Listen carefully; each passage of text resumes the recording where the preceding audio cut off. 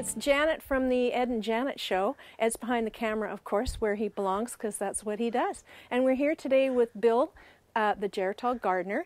And actually, Bill, um, Ed taped you seven years ago, and you can still see that on Ed's YouTube channel. And my son Mitch was filming that day, so that's kind of fun. So uh, you're a fabulous garden. You're really known for that here, and I know you're friends with a lot of the people we've filmed already. And uh, we'd love to hear about your garden and how you do things, Bill. What would you like to start with? Would you like to tell us about your raspberries? Great. A um, fall gold raspberry. It's uh, it's probably uh, one of the uh, sweetest of all raspberries. Um, you can double crop it, two crop per year, which is good. And how do you do that? And do you cut out the, the, old uh, canes or something, or These here that you see here were last year's uh, stalks. uh-huh. Uh, this is this year's new stalk, new Right. wood, and it fruits down to uh, 12 to 14 inches T- this year? this year, this Okay. fall. Wow. Okay. So you cut it off and you leave it, and then next year in June, this is what you have. It'll fruit all the way down to the bottom. Oh, I see. So- Okay. You have two crops wow. Awesome. Lovely berry. Beautiful. And what are these over here? These are Marionberry. Marionberry. Yeah, it's probably one of the uh, best culinary berries uh, that, is, that, is, that is available here. Um, sauces, pies, jams, jellies. If you ever travel to Washington State or Oregon, where this Oregon where it was uh, developed, you'll see nothing but Marionberries. Wow, really? Yeah, lovely berry. I see you got some asparagus here. Please tell me. I've just put a bed in this year, Yes. and uh, I won't kill that because that's not uh, asparagus beetle. But do you have problems with the asparagus beetles? Uh, sometimes you see it on there. It, it doesn't seem to do too much damage, so I, I don't bother with it you don't too worry much. too much. That's good to know. Yes, it's it's pretty well a, a self uh, self governing uh, item. Uh, I don't really do too much to the soil. Uh, you can plant it, and and you can't harvest it until after about three years. Then after three years, you can harvest the bigger shoots, and once they get smaller like this, you leave them grow. You don't cut them to feed the soil, and um, sometimes you can get uh, crop right through to the later in the year, but uh, generally it, it's early. And I don't even know this yet. But what do you do in the winter? Do you chop it back Yes, in the fall? this will all turn orange and yellow, Okay. and you just cut them right Cut off, off at and the then- bottom. Yeah. Leave it to Yeah. the spring. Leave it for next year. Ah. Hey, Bill, is, is it important when you harvest asparagus to use a knife and cut it below ground level or not? Some people do. I don't bother doing that, but a lot of people do, and uh, uh, they say there's uh, there's um, more uh, nutrition comes from that, but I don't know. I've never done it, so I couldn't couldn't answer that too well. So you just cut it off above the surface, yeah. yeah, right at ground level. Huh. Yeah. What do you do, Ed? Do you cut it above or below? Well, both. I, I can't tell any difference. oh, okay. No, So someone needs to do some experiments. Yeah. And it won't be me. Yeah. What? Don't you like to eat asparagus? Yeah, I do. Love it. Yeah. and this is a youngberry. It's um, it's one of the uh, nicest berries that I like. It's a, a cross between a, uh, a blackberry and a, and a dewberry. And um, the dewberry gives you a different taste completely, but it's a huge berry full of juice, and uh, very good berry. And the reason I grow these two uh, is they don't send rhizomes out to propagate new plants. Oh, And okay. most blackberry crosses do that, and you have blackberries coming up everywhere Yeah. around your yard. So these propagate by tip rooting, which uh, you can see going on right here. Oh, Tip roots. okay. And uh, if you leave the um, the new shoots down, it'll tip root, and you'll get new plants. So you can propagate that way. All right. And um, then these are, after they're fruited, you cut them all off and you wind your new ones up over there or leave them on the ground. I see. So these ones here are new shoots you Yeah. just haven't wound up yet. That's right. Yeah. You should get them on a giant reel and just reel them in. Well, No, some of the some of the uh, Marionberry uh, new shoots can get 30 feet long. Oh my goodness. So yeah. They can wind up pretty good. Cool. Wonderful. Tell us about your uh, your roses and your your zucchinis Well, here. this rose I call Stolen Moments. Um, the, the name tells it all. I acquired it from somewhere else. Okay, I've got to smell it. Is it a good? It's a beauty. oh yeah, that's lovely, and I like the different colors. Yeah. So it kind of starts orange and turns pink. And of course, uh, it's right. It's it's, it's uh, lowest point right now. It's, it's the first flush is over, so uh, it will be getting another flush coming up Ah. where you see those dark, dark now, purple. did you steal this from Anne? Because it kind of looks like one of hers. No, Oh, we, we won't say. no. We won't say. Okay. Oh, there. Oh, there's one of those darn bugs right there. See, it's orange. Got 'em? and we will treat him with the respect he deserves. Okay. And you got a couple of zucchinis here? Zucchini squash, yeah, the Yeah. yellow ones. Great. That's just a spot where I had an extra couple of plants. I'll try them in there and Yeah, see if they work. excellent. Yeah. Now you are an expert comp- composter, and Yes. for new gardeners, they they may not know how easy it is to produce your own soil from what you eat and scraps and such. Can you please tell us about um, your secrets on on producing good compost? Yes, uh, compost is the, um, the most important part of your garden there is. It's, uh, it feeds your soil. Uses all the waste from your garden to go back into feeding the soil. And the, the way to do a good compost is by using pallets that are available free anywhere around. You can get pallets. You just take the boards off one side and uh, put them on the inside of the other one. Put I see. Wire mesh throughout, to keep the rats out. Yeah. That's important. Yes. And to do anything in there, you just take out these pieces. These are available from Venetian blinds, Ah. the tracks for Venetian blinds. Right. So if you find some old Venetian blind, you get the tracks for them. And then to, uh, to work in your compost, you open it up. And ah, excellent. It's like so. And I store the leaves in here, finished compost in the center, and working compost in the far end. Ah, tell us about your working compost and what you do to it. So this is where you start your compost in this first bin here. Yes. Uh, Yeah. This is, uh, I'll take these off. This is a um, garden refuse now from the uh, broccoli plants, which I'll chop up with the uh, with the um, hedge trimmers, and then it goes in here, and these are all screened Yep. so as your moisture, your your air can get in and get to working it. Right. And then you uh, have a little item like this. Yes, I got mine at Buckerfield's. Beautiful. and it goes in there, and you just lift it up, and it's it aerated. It moves it all around. Moves it around a little bit. yeah. Right. Awesome. And uh, And then what happens? Does this go to this this will change down into uh, into uh, a soil additive, which you can see in here. Oh wow. It's all ready to go into the soil. And now how old is how old is this? That would be from last fall. Last fall. Yeah.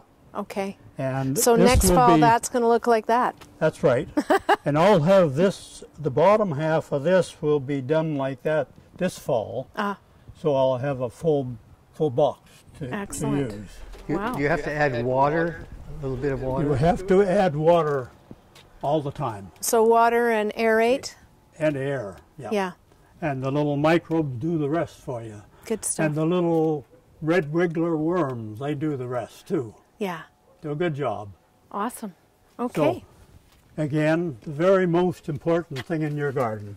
yeah, no, that's that good. item right Because you can spend a lot of money on soil amendments and uh, topsoil and stuff when really, you know, Yeah, you- There's there's yeah. lots of ways that you can do this. I know we keep ours in a couple of garbage cans that I drilled holes in, Mm-hmm. and I just roll them around to mix them up with the lid on tight, and Works that well. seems to work well. And in the Works well. winter, I dig up a big hole in part of a couple of my garden beds, and in it goes, and it gets covered up. And Beautiful. yeah, so you know, there's lots Yeah. of ways, but this is this, is, the- deluxe. probably the ultimate one, but um, uh, there again, you could go two bed, two boxes Yeah, or one box.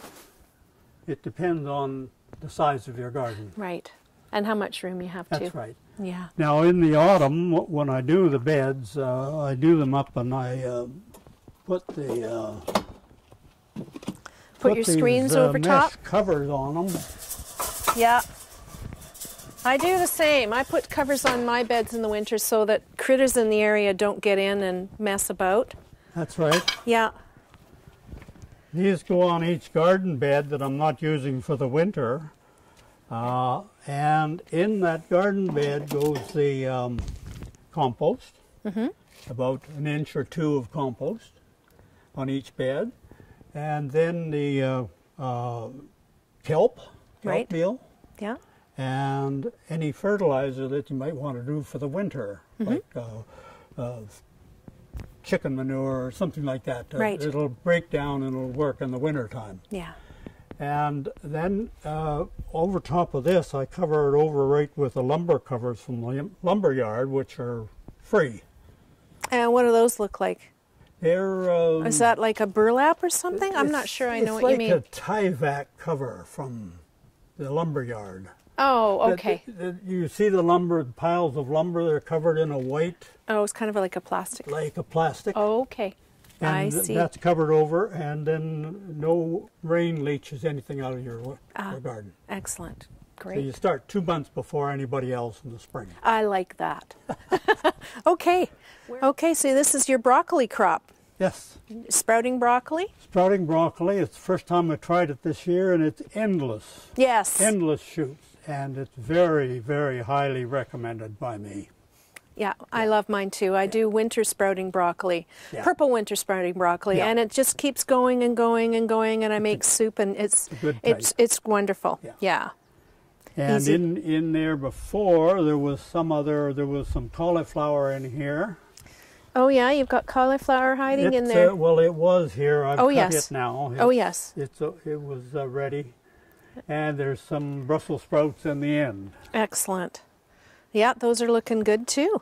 Wonderful. and all covered over, of course, with the um, ProtekNet that's uh, made in Montreal, Ah, and it protects you from your white uh, butterfly, uh, which Mm-hmm. is a ca- uh, cabbage moth. Cabbage moth. it.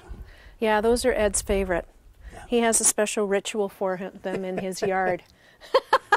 but so you keep all the the things that uh, the butterflies, those butterflies like, in this In bed. here, yeah. Yeah, very Yeah, smart. They, they uh, and they they don't seem to even want to go near it. yeah. With other plastic covers, they find a hole somewhere and Oh. find a hole to get in. Really? Yeah. Okay. Yeah, I know do. Anne has a problem with that because she has holes in hers and they seem to get in. Yeah. Yeah. I wonder what it is. I know Ed uses this too, don't you, Ed? This, um, yeah. Yeah. it's a good product. Great. It's a very good product. Wonderful. Well, would you like to tell us about your espaliated apple trees over Yes, here? That's what's drawing me in now, next to your three, rhubarb. three, um, okay, there's three. Um, uh, Spartan is the, one of the most popular. Yes. Ambrosia in the center, Wow. and Jonagold there. Jonagold. Now this year they're on their rest year, uh, Oh. which is very few apples. Mm. Uh, um, so there, there are quite a few on the on the Spartan, but still sparse because uh, it's, it's the rest year. And Spartans, you know, you buy them in the store and you think, okay, that's all right. But if you've never eaten one right off the tree, holy cats, what a difference. Like you Very think it's the best apple on the planet if you get one right off the tree. And they're far larger too. Yeah. Very, very large apple. Yeah, they're Especially brilliant. when you get this small dwarf one that's espaliered. Oh, yeah. It's it's just adds so much more. Is this it. not a dwarf one? This is a dwarf, It yeah. is. Way to go. Yeah. And I'm liking this idea. I'm going to be doing this on my deck with a peach tree next year. Beautiful. Well, another thing that's been inspiring me after we've been doing these videos, you got to do these things, Yeah. right? Say, next year, Bill, when they, they put on a lot more apples, will you be thinning them? Ah. Yes, yes, you must thin them early after your June drop, which uh, which they thin themselves normally. You still have to thin because they get so heavily. Yeah. So So I've read so you thin to one or two per branch, something like that, Yes, four or five inches apart. yes. It, it, yeah, it's a very cruel thing to do. It seems like when you're doing it. It's hard to do. I know we did it to our apple tree this year. It's like, oh no. yeah. So tell us about your rhubarb. It looks very healthy. Yes, uh, uh, three varieties. One seems to do better than the others, this Mm-hmm. one here especially. And uh, the one that does the best, of course, is the one from the Chosen. Oh, And uh, uh, I don't know the exact name of it, but um, a chosen market people out there that do Oh, yeah. it, they, they grow it. Yeah. good. yeah. And what do you do to take care of it? Uh, just a good, a good, um, good uh, um bunch of manure in the, in the autumn. Uh, in the autumn. So the winter rains will take it down to the roots. Okay. Other than that, uh, not too much. Just water it and pick it, Yep. hey? Great. Well, I can guess what these are. I think these are my absolute favorite. Are these Fortex Filet? These are Fortex Filet. Please tell us about your favorite beans. They're the only ones I grow now. They're, uh, I started growing these about 20 years ago, and I've suggested them to many other people. Uh, rich, lovely. Yes. Uh, they just love them. I don't think there's a person that I've introduced them to that doesn't like them. Yeah. And I think that's what impresses good. me is they can get this long or longer and they do not get stringy or coarse. Exactly. So you'll have a freezer full Yeah. of beans rather than having these hairy hairy coarse beans Yeah. that you can't eat if you miss them. Yeah. Exactly. They're fabulous. They're a, they're a real good bean. Yeah. I've tried to get two crops this year. i the, the second planting is up near the far Oh, end. yeah.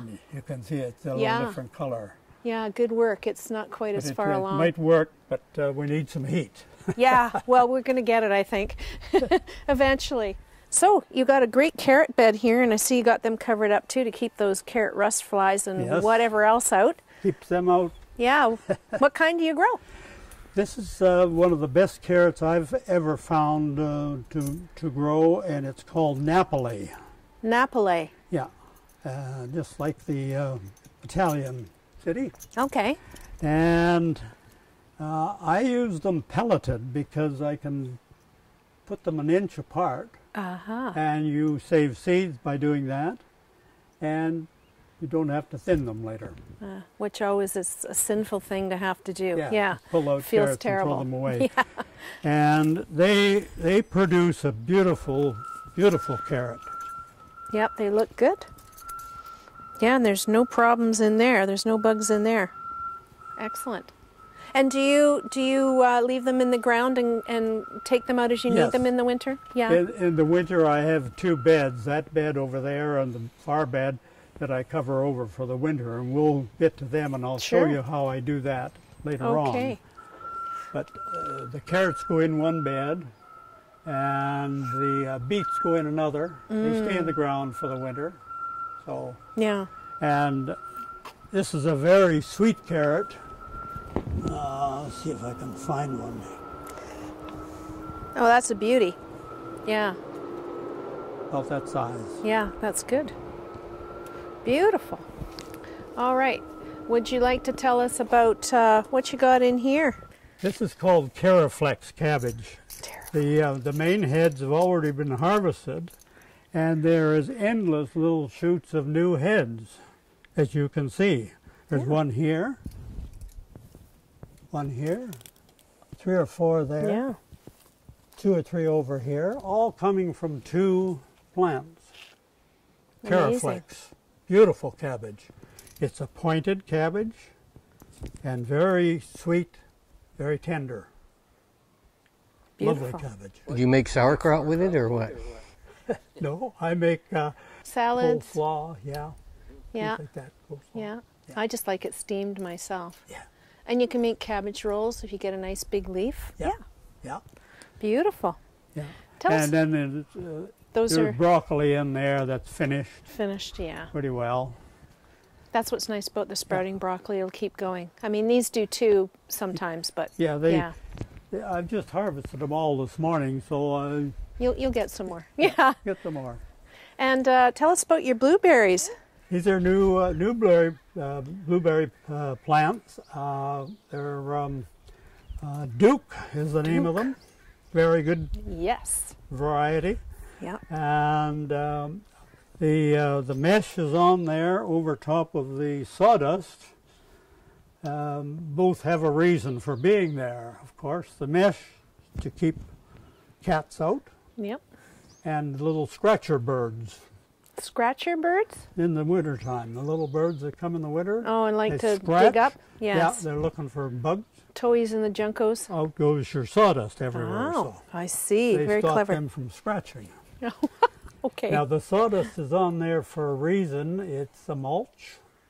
It also takes the pH down to uh, help the blueberries, the pH in the soil, and by that the, the sawdust does a great job. Both things. That's the way they like it. Very nice. Well, you've given them lots of room. I'm sure they're going to become huge once they really get established. Because you just put those in this year? This year, yes. Wow. Very nice. And these beds, uh, as you see, are just new beds, and they're um, uh, yellow cedar. Uh, a fellow by the name of Ryan has a little mill over on uh, Keating Crossroad by Slegg Lumber, and he has a little mill behind there, and he'll cut any size that you like, and those boards will last 30 years. Wow. So, highly advisable. Wow. Ryan at the mill on Keating. Oh, good stuff. Yeah, no, they look really great. Wonderful. And uh, what is in is in here? It looks like you got some bok choy and lettuce This happening in here. this bed here is uh, one of the winter beds. Wow. Uh, so there's um, right now there's uh, Swiss chard, Queen of May lettuce, radishes, green onions, and there was some spinach in there, but it bolted Uh, yeah. in what little heat we've had. Mm-hmm. And these are your radishes here. You just started Yes. in here. Yeah. Beautiful. I love Swiss chard. It's one of my favorites. I let Yes. some go to seed so that I'll have a million seeds for next year. Good. Yeah, see if you're Ed letting. comes over here, he can get a better idea. Of, Yeah. I'll show him how this works. Yep. And what uh, what's going on here is Queen of May lettuce, and it's going to seed. I'm letting it go to seed. That's your Queen of May lettuce there, underneath, as you can see. It's a, it's a beautiful Oops. lettuce, I had a few of those. They're fabulous. very tender, very Yeah. sweet lettuce, uh, and it's not available through any uh, garden center now. Oh. It's available through me if I, I think I think. Anne has them too. I do as well. She's given me seeds, and I just Good, they're yeah, it's really Yeah. a beauty. beautiful lettuce. Yeah. And uh, then this this bed I use for the winter, as I was saying. Mm-hmm. Uh, I'll be taking the mesh off, but in there along comes the plastic, the poly, and down here.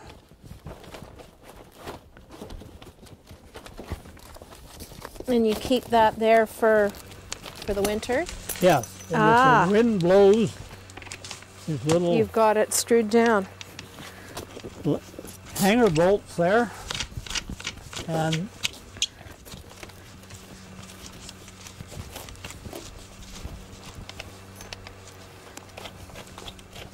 That's put so the hanger bolts on. You have a mini greenhouse that the wind isn't going to take away. Ah, Excellent. I love that. And uh, they're both done that way. This bed and this I bed I use that. for the winter.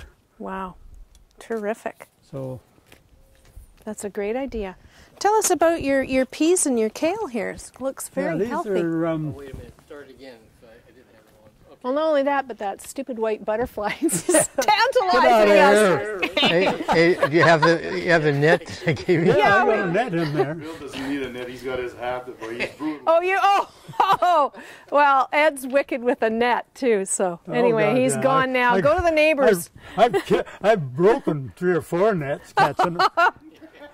That's why we don't see them as often now, Ed, because it's you and Bill are getting rid them of and I them. give them to the little gecko uh, They eat them all. Oh, they love them. yeah, I know. You got to love those lizards. Anyway, Okay, tell us about your peas and your about the peas. Okay. Uh, and your kale. These are um, West Coast seed variety called Cascadia.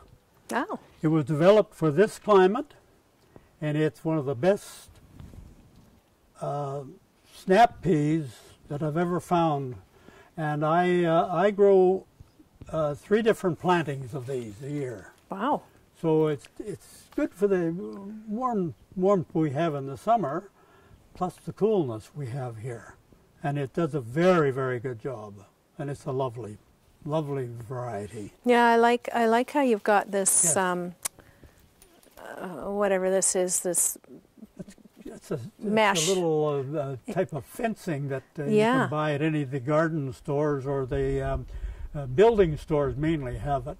And it works really good. And I used it here Yeah. also for the um, the for the cucumbers. Ah, Yeah, because my my peas blew over because I bought this heritage brand that were that went so tall they went above what they were supposed to, and there's a big wind and over it went. So I need something sturdier. So I'll Yeah. be looking for this. T-bars, Yeah, T-bars, excellent. and, And then rail just- down there, Yeah, uh, conduit, uh, electrical conduit railing, and uh, Yeah. put the because they need something. They need something that they can grab onto. Yes. It's not like a pole bean. You Yes. can't use poles; it won't work. So Yeah, this is the second planting. Yeah, and I'm good going to work. be planting the third planting there, Down there. behind me.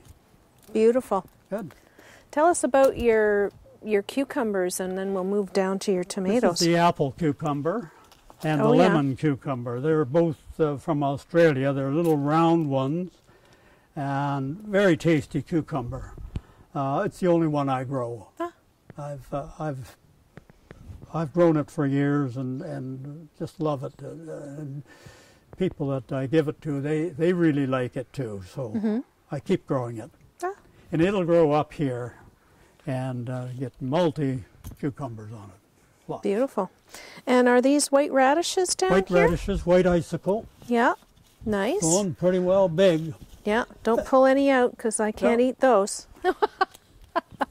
and shall we move down to your tomatoes? Okay. Well, they're kind of um, taking a back seat. They need some heat. Yeah. These are indeterminates. The uh, indeterminate being that you uh, take, disbud the uh, suckers out of each leaf, like this one. leaf join. That one coming up there. Yes. Want me to take it out? Yep. That's it.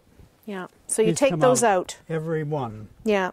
And there's one here I'm leaving for someone that wanted it. It's going to start a tomato Okay. of this variety. Mm-hmm. Do you now have this- different varieties in here? That's all. There's uh, different varieties, eh? all different. Yeah. Okay. This one being the most talked about.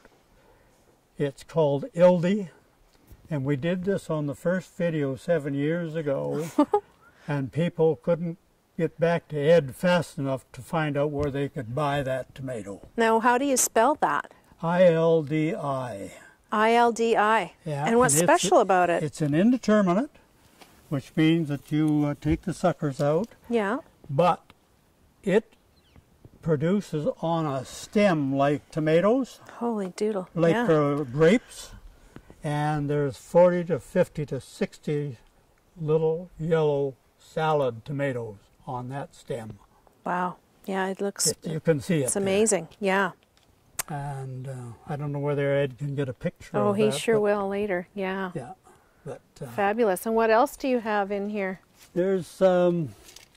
Paul Robeson, which is a uh, Russian tomato, uh, heirloom.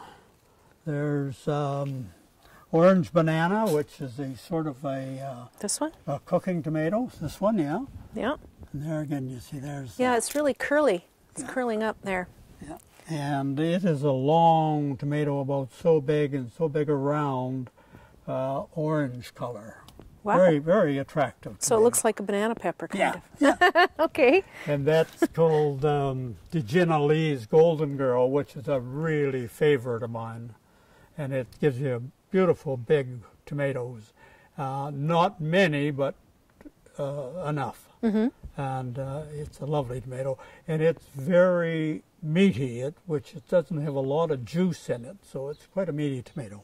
Now, do you s- do you save your own seeds? You Yes. must, because um, otherwise you wouldn't be able to get Yes, to get the ildi. Am I saying that right? yes. Ah, very good. Yes. Well, Benita told us how to save uh, tomato seeds. So yeah, uh, yeah so I th- hope more people will be doing that. I know Yeah. I do. Right. Yeah. Now, what have you got in here?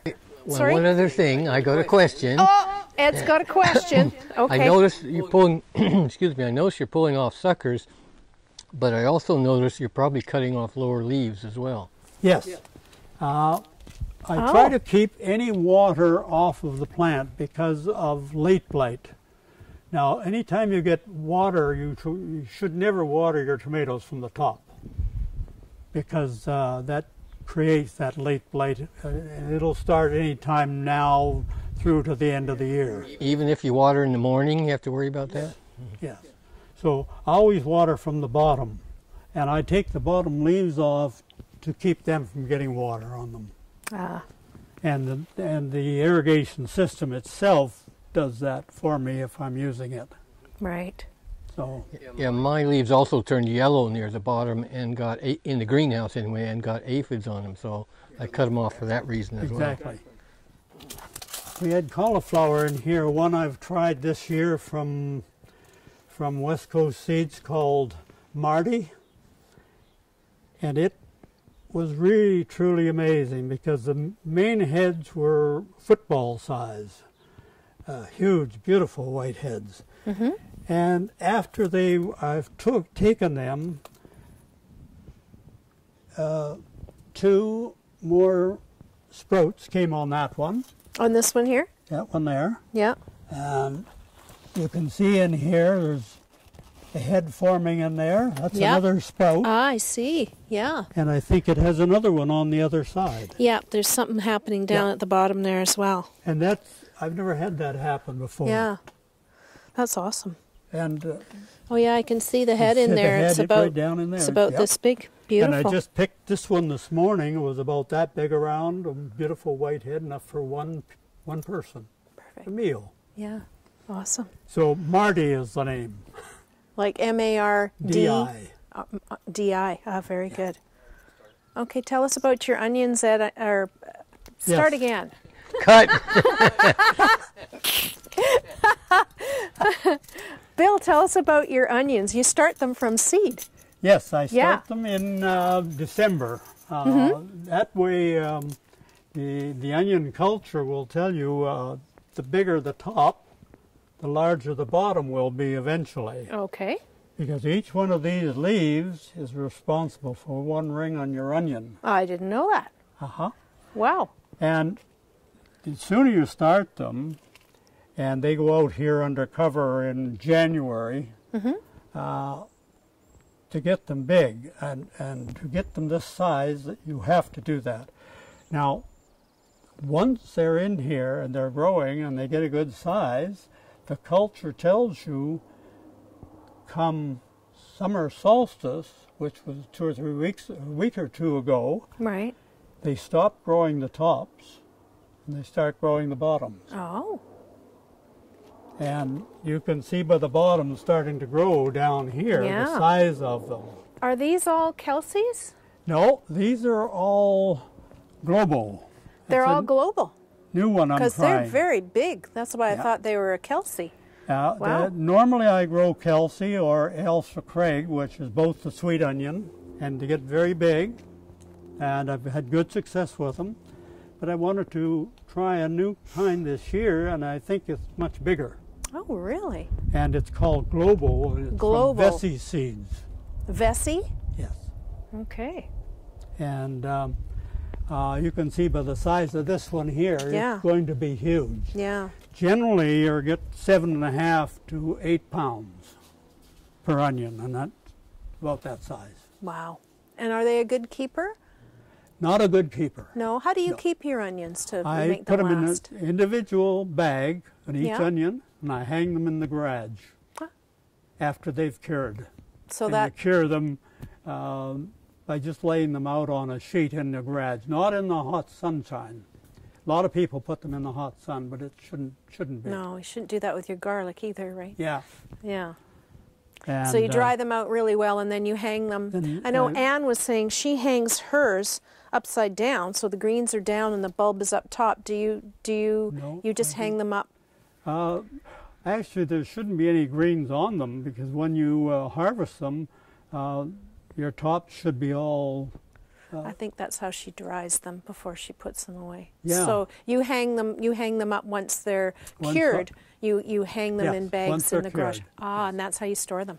Yeah. Ah, very good. And then they'll last, oh, probably, you probably get two to three months, maybe a maximum. Ah. But I have a waiting list for them that people want them, Oh, so I, I, I don't have any problems you don't have them. any. Ah, okay. Now this looks like a different kind. Is that a shallot or something? That's a multiplier. A multiplier. Multiplier onions, which I use over in that bed over there, that winter bed. Um, I let some get large Yeah. because now when these die back, the tops on these, I'll store them and then I can have them in the spring before the ones are available in the garden centers. Ah, I the see. multiplier is only available come late spring. So multipliers are kind of weird that they, that they grow like bulbs do. Bulb? They keep growing more bulbs. That's right. So what do you do with those? You kind of help yourself to the one you want, and then it just keeps going? you going. just you just put that in the ground and then you get six or eight little green onions from it. I next see. year. Ah, very to let nice. it cure like an ordinary onion for the winter. Right. Wow, that's cool. Yeah. I've never grown those before. That's interesting. yeah, that, that works real good. Great. Well, I see that you have a whole bunch of Cape gooseberries back here. Can you tell us a little about those? Because, I mean, goodness, you've got four huge plants. They're Yes. gorgeous. Yes. Tell us about your Cape gooseberries. I think we all have them except Ed because he doesn't eat them. I've tried. They come up everywhere. Uh, they do, but they're so good for you, Ed. It's Yeah. okay. You don't have to eat them. Please tell us about your Cape gooseberries. Well, I uh, uh, some of these are volunteers in the garden, Mm-hmm. and some I started from cuttings. So you can put them in the greenhouse for the winter, and then uh, put them out in the spring uh, uh, when it's warm enough, and minimum 10 gallon pots, because the root system on this plant is so huge, it just It takes over. it just takes over. I mean, you can see you can see on the top that there's all it's all fibrous yeah. roots But that contains the plant enough to keep it small enough Yeah. to be manageable. Now, do you how uh, uh, how how, uh, how often do you change your plants? Like how how old is this plant? This is uh, this year's. This is this year's. Yeah, this uh, from the winter time. Through, from- okay. For one that you took a cutting of and you wintered yeah, and then in it's the greenhouse we can see them there. right. We'll have a look at them. I'll So show you you tend to start overwinter a start, yeah and then that's the one that fruits for you. Yes. And then you just continue that process, so you don't keep these plants. no no Ah, that's smart because otherwise you got to try and move this. That's what I Oh, do. yeah, you- I can't do it anymore. I think I'm going to do the need a uh, You cuttings. need a big greenhouse. yes. Yes.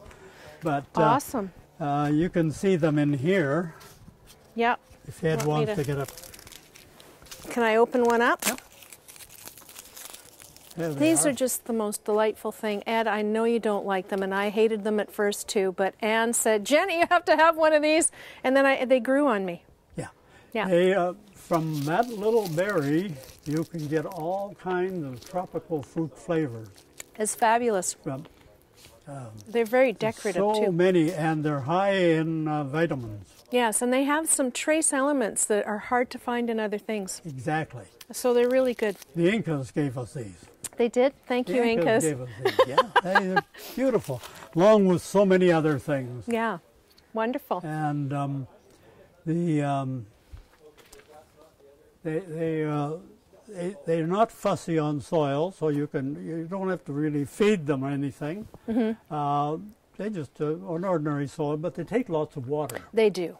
all kinds of water. They do take a lot of water. uh, That's true. What I do with them, I pick them all as they come ripe, put them in the freezer, in a, in a box, and then in the in the uh, spring, late winter and spring, when there's no other fruit around, I'll take them out and have some, or I'll make jam with them. And the jam is, is so wonderful and so tasty. Mine never make it to jam. We just gobble them up.